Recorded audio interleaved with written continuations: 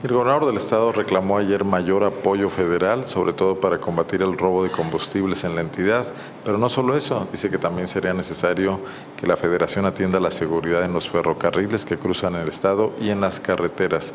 Dice que su administración ha estado trabajando en estos temas, pero no le alcanza junto con la delincuencia común del estado. Esto dijo ayer Márquez. Todo lo posible a través de los municipios, insisto, el Ejército y, la, la Secretaría de Seguridad Pública del Estado y la Procuraduría.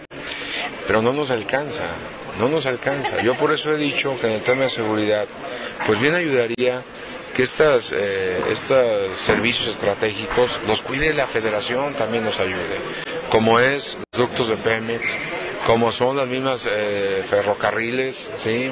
las vías del tren, esto es importante, ¿sí? que nos echen la mano, y el carreteras federales, donde también se requiere de mayor presencia. Por eso sí es importante, ¿no? Mayor presencia, este, de, sobre todo de, estado de fuerza eh, policíaca y sobre todo le presentamos aquí un reportaje el lunes pasado de cómo ha crecido la ordeña, el robo de combustible en los ductos de Pemex.